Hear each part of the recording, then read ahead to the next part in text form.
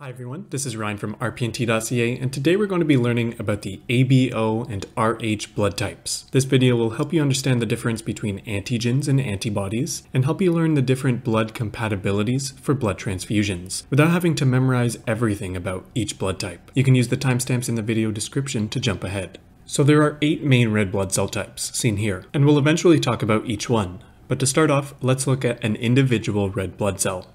So my red blood cells, for example, are pretty likely to look different from your red blood cells. And the reason for this are the different types of antigens that can be present in different combinations on our red blood cells. Antigens are substances on the surface of our red blood cells that allow for immune responses. You can think of antigens as sort of markers or identifiers for the immune system. As an example, if my blood type is A, then my red blood cells have lots of these little A antigens on their surface, like so. It's the letter A in this case that tells us that A antigens are present on my red blood cells. Now let's talk about antibodies. Antibodies are the proteins in the plasma of the blood. Antibodies are part of the immune system, which help in finding and marking foreign substances that enter the body. Whenever an antibody meets the same type of antigen, then the antibody marks it as foreign so that the immune system can destroy it. For example, an A antibody can only bind to an A antigen to mark it as foreign. As you can see, the Rh and B antibodies that are floating around in the plasma around the blood cannot bind to the A antigens and mark it for destruction. Again, let's assume my blood type is A. I wouldn't want my immune system or my antibodies to attack my own red blood cells, like what's happening here. So naturally, my body doesn't produce the right antibodies to do this. If my blood type is A, so I have lots of these A antigens on the surface of my blood cells, then I won't have any A antibodies. So whenever my immune system sees blood with A antigens, it accepts them as my own cells, even if they came from someone else with type A blood. However, I will have B antibodies. So for example, if I ever receive blood from someone with type B blood, which has B antigens, then my B antibodies will mark the foreign blood for destruction. This would be called an acute hemolytic transfusion reaction, where my immune system would go in and lyse or break up all of that type B blood that was transfused. This reaction can be life-threatening. So now that we've gone over antigens and antibodies, let's get a little more specific with each blood type. Starting with the ABO system, we have four blood types, type A, type B, type AB, and type O. Type A blood has A antigens on its surface and has B antibodies in its plasma.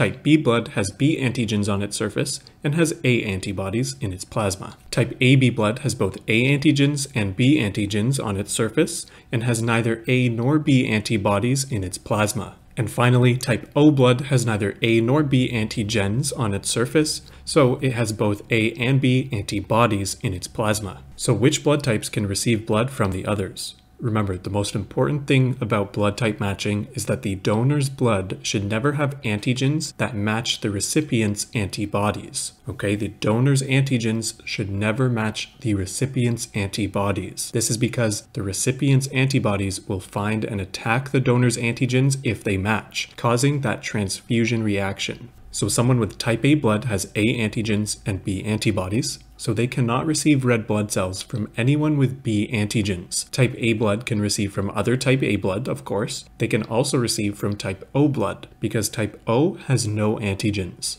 But type A blood cannot receive from type B or from type AB, again because they both contain B antigens and someone with type B blood has B antigens and A antibodies, so they cannot receive from anyone with A antigens. Type B blood can receive from other type B blood and type O blood, but cannot receive from type A or AB. Someone with type AB blood has both A and B antigens and neither A nor B antibodies. Without A or B antibodies, no reaction to antigens can occur, so they can receive blood from all of the ABO blood types without any issues. Someone with type O blood has neither A nor B antigens, but does have both A and B antibodies. So type O blood cannot receive from A, B, or AB blood because those A and B antibodies will mark any A or B antigens as foreign. Type O blood can receive from other type O bloods and that's it. Now we have gone over the four ABO blood types and their compatibilities.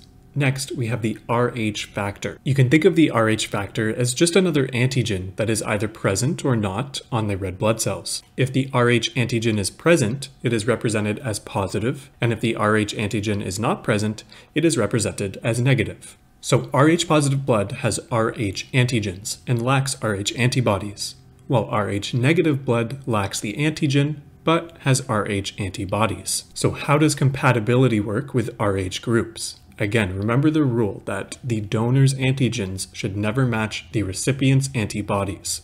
So due to the presence of Rh antigens on Rh positive blood, an Rh positive donor cannot give blood to someone who is Rh negative. The donor's Rh antigens would interact with the recipient's Rh antibodies, causing that transfusion reaction. So anyone with Rh negative blood can only receive from others with Rh negative blood. Rh positive blood, however, lacks Rh antibodies and can therefore receive blood from both Rh negative and Rh positive types because there is no risk of breaking that compatibility rule. Now I'll quickly walk through all of the 8 blood types. You can follow the link in the video description to download a free simple blood compatibility chart like this one. Someone with A positive blood has A antigens, Rh antigens, and B antibodies, so they can receive blood from anyone without B antigens, which includes A positive, A negative, O positive, and O negative. Someone with A negative blood has A antigens, Rh antibodies, and B antibodies. They can receive blood from anyone without Rh and B antigens, which includes A negative and O negative. Someone with B positive blood has B antigens, Rh antigens, and A antibodies. They can receive blood from anyone without A antigens, which includes B positive, B negative, O positive, and O negative. Someone with B negative blood has B antigens, Rh antibodies, and A antibodies. They can receive blood from anyone without Rh and A antigens, which includes B negative and O negative. Someone with AB positive blood has A antigens, B antigens, and Rh antigens with no antibodies. They can receive blood from anyone and are considered the universal receivers or recipients. Someone with AB negative blood has A antigens, B antigens, and Rh antibodies they can receive blood from anyone without Rh antigens, which includes A negative, B negative, AB negative, and O negative. Someone with O positive blood has Rh antigens, A antibodies, and B antibodies. They can receive blood from anyone without A or B antigens, which includes O positive and O negative. Someone with O negative blood has no antigens, has Rh antibodies, A antibodies, and B antibodies. They can only receive blood from other type O negative donors. Type O negative blood is considered the universal donor, as they can give or donate to any blood type, but again can only receive from their own.